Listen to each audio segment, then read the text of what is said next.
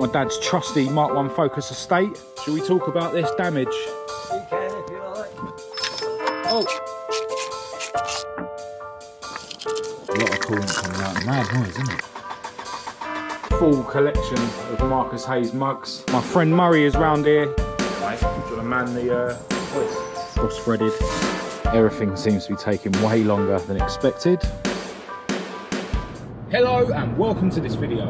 I'm Marcus Hayes, this is my beautiful girlfriend Kat, and today we're flying up the M1 to visit my parents in Northampton. Tomorrow I'm going around the garage to hopefully fit the ST170 engine into Esther, my Mark 1 Escort. I don't think there's anything else that can stop me putting the engine in. I've got the countersunk bolts. I've already checked that they're the correct thread this time, so we're good to go. Today I've got a little bit of a job to do on my dad's trusty Mark 1 Focus estate, so I thought I'd take the camera with me and show you that. It shouldn't take us too long to reach my parents' place, so I'll catch up with you when we get there. Alright, so we've made it to my parents, where we join my dad Steve, aka Picasso the painter. Alright, so we're going to be having a little look at my dad's trusty Mark 1 Focus estate, which has now covered 215,000 miles. Shall we talk about this damage down the driver's side, Dad? You can if you like. Dad had a bit of an argument with a little wall and lost. but yeah, my dad's been complaining that there's been a bit of a puddle underneath the car when he parks it up. And luckily, it turned out to be just coolant. Last time I was here, when we run the engine, I could see that there was coolant coming out from the thermostat housing somewhere.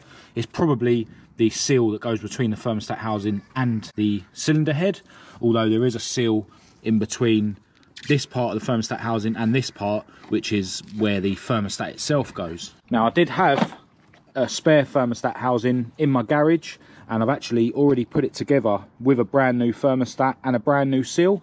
And this here is the brand new seal that goes between the stat housing and the cylinder head. And I will say that I had to actually buy two of these seals. I bought one on eBay, which wasn't a genuine Ford one, and it was basically too big to actually fit into that slot properly. So yeah, if you do need one of these seals for your Zetec, I highly recommend you get a genuine Ford one, but they are available on eBay for the same price as the pattern ones anyway. So the plan was literally just to swap the whole thermostat housing, but I've actually changed my mind because a lot of these hoses have got these really rubbish Jubilee clips that you need the pliers to undo them, and there's one that's right at the back there I think it's going to be quite difficult to disconnect everything to change the whole thermostat housing. I'll probably have to move the coil pack out of the way and stuff. So what I'm going to do instead is just remove the thermostat housing from the cylinder head and change the O-ring and then I'll be able to just undo these three screws on this bit to pull this bit of the stat housing out of the way to change the stat and the seal. Now there is a small chance that the thermostat housing itself is cracked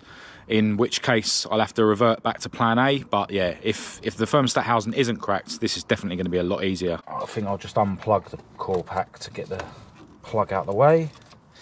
If it wants to come off, that's it. Yeah, so I've literally just got these three 10 mil bolts to undo, and then we should be able to pull it away from the cylinder head enough to change the seal.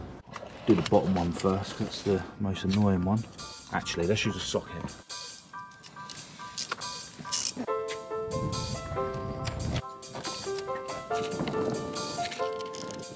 One.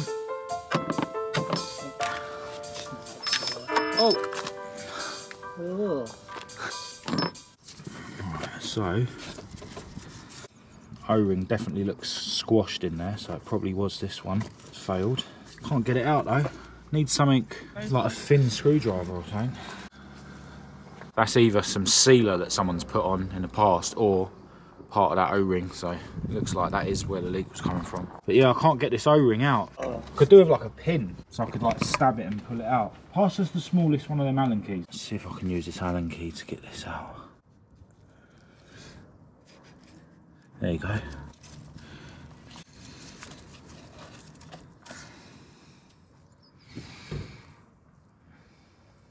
Try and clean this groove out as best I can.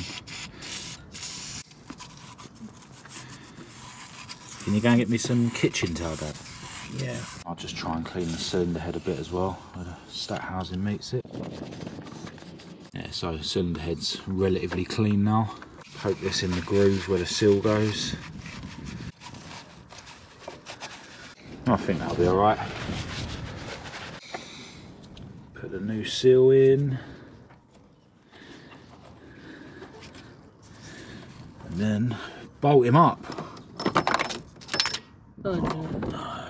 Didn't fall out. Didn't hit the deck, did it? No. Hang on, let's just get one of these in. We'll worry about the lost bolt.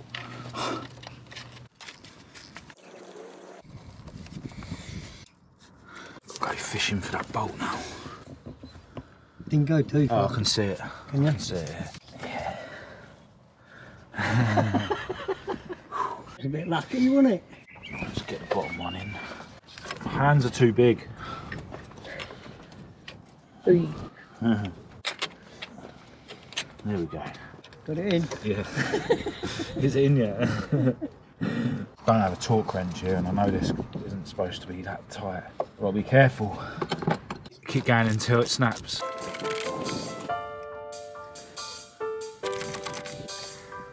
Alright, so now we're gonna put the new thermostat into this old thermostat housing. I need to take it back out of here first.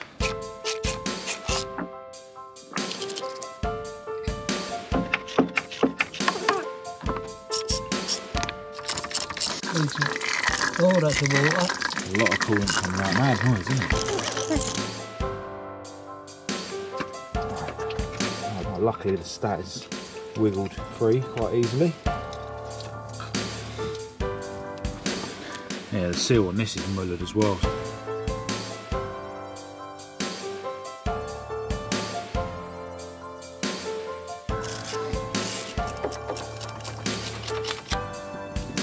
Alright, now that was fiddly, but the job's done. So we'll run the engine now and hopefully we won't have a coolant leak. But I'm pretty sure it was one of those two seals because they both looked mullered. And look at that, that's the thermostat one. I did lose quite a bit. Yeah, it's filling up. Fire her up. Is she in neutral? Oh, hang on. Got a plug in the coil pack. Alright, go on.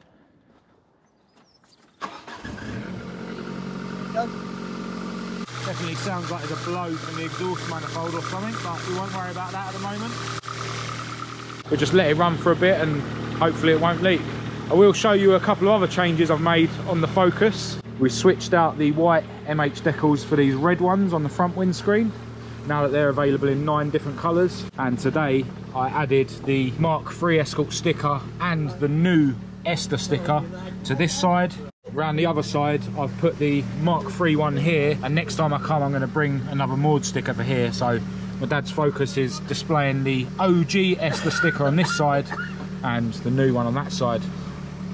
All right, so car's been running for a few minutes, and it's warmed up quite a bit, and I can't see any water dripping down like it was last time I was here.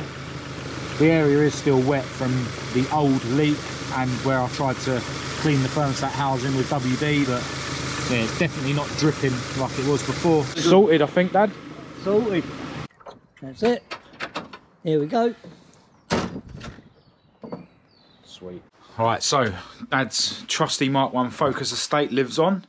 Now it's time for us all to have some dinner, which I'm really looking forward to. Just check the full collection of Marcus Hayes mugs up in my parents' kitchen. And if any of you guys want to grab any of my mugs or any of my other merchandise, you can do on my website at www.marcushayesuk.com.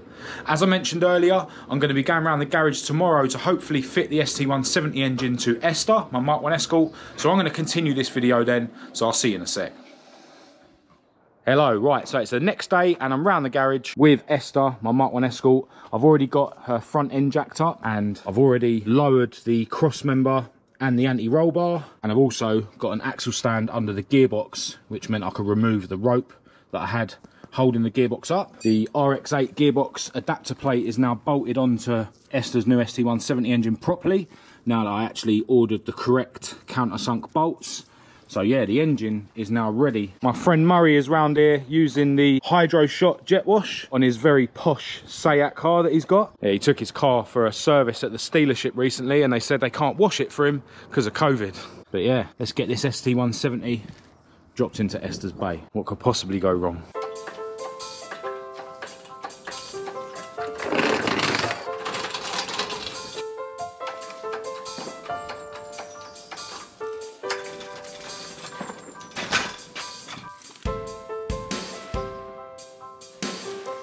Mate. Do you want to man the uh, hoist? Very responsible job. Down a touch.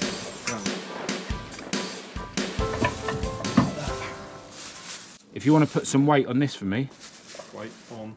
just like pushing here, Yeah, yeah. yeah, it's not heavy or anything, and then I just need to get a couple of bolts in. Yeah, that's good enough. You can let go. Sure, yeah. Yeah. All right, so the engine is in, sort of. Got the two bolts that have the alignment dowels done up, so the engine is attached to the bell housing properly. One thing I just realised I forgot to fit while we were putting the engine in is this coolant hose going to the water rail at the back of the engine, but the engine is actually sitting lower than it will be when it's all bolted up properly. I haven't got the cross member and that bolted up properly yet, so yeah, when I lift the engine up to do that, I can pop that on, and then it's just a case of putting all the other bell housing bolts in and putting everything back together. Definitely a lot easier putting the engine in with an assistant. Focus on getting this coolant hose on now. Yes. Alright, so that coolant hose is attached now. So everything else should be pretty straightforward. I think I've got one bell housing bolt down there that is a bit annoying to get to. So I'll probably do that one first. And then I'll start thinking about getting the cross member and that bolted back on. And actually have the engine sitting on its mounts rather than being held up by the hoist. And it has to be exactly the right length because it comes through the adapter plate and then it's basically hitting the cylinder head. Um, seems a bit short with both of these washers on, so just try with one. All right, so the thread in the adapter plate up there for that bolt is cross threaded. I don't think it matters too much to be honest, because it's right next to this other bolt here with the alignment dowel. And yeah, as I say, because you know you've got the thickness of the plate with the thread in and then the other side of that is the cylinder head. So the bolt has to be exactly the right length, otherwise it's not going to grip the plate if it's too short, or if it's too long, obviously you'll go through and it hits the head and then cross threads, which is exactly what's happened. But yeah, I don't think that's a big deal. Yeah, I'm going to get all this uh, cross member and that bolted up properly now.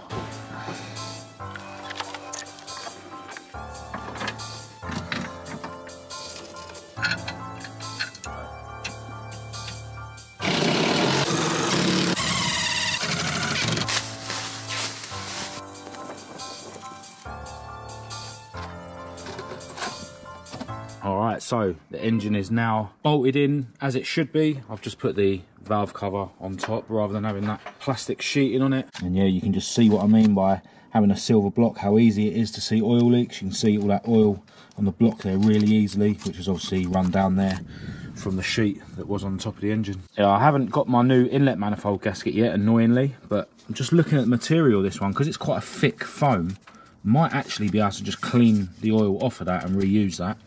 I'll have to see. Martin's finished the valet on his car, definitely looking a lot better than it was. What do you reckon of the Hydroshot? Very good. It's all right, isn't it? It's really smart, this thing. Proper family wagon. But yeah, I think I'm going to crack on with bolting all the boring stuff back onto Esther's engine off of camera, and I'll catch up with you a bit later and show you what I've done. Later on. All right, so I've actually been putting things back together now for a few hours. Everything seems to be taking way longer than expected, which is usually the case. But yeah, I've got the manifolds on now. They're not torqued up or anything. That inlet manifold gasket did actually clean up really well, so I think that's going to be okay. I've got the anti-roll bar hooks back up. haven't forgotten to do that like I did last time. So yeah, the main things left to do now is obviously fit the radiator and plumb that up. I've got to put the water rail back on once I've actually torqued the exhaust manifold up. And yeah, just basically sort out all the wiring and stuff. Need to plug in the throttle position sensor. Still need to put the coil pack under there and run the leads to the spark plugs. I've actually got a brand new set of spark plugs to go in. Still a lot to do, but I'm really glad that I've got the engine in. And at least now I've got the manifolds on. You can actually start to see how it's going to look. Definitely looks a lot better with the silver engine block and as I've mentioned before it's going to mean that in future any oil leaks and stuff are going to be a lot easier to spot. Now I'm actually going to be coming back round here in a couple of days but there's a couple of other things that I want to focus my attention on then but within the next week or so I should have everything back together on Esther and hopefully have her running again. Whatever I do get up to in a couple of days, you'll be able to see in the next video. If you thought this video was any good, please do give it a thumbs up and a share. If you didn't, give it a thumbs down. Click subscribe to keep up to date with all my future uploads and check the links in the description to my social media and my website. I'll also leave my email address down there for anyone who wants to contact me. But other than that, until next time, thanks for watching.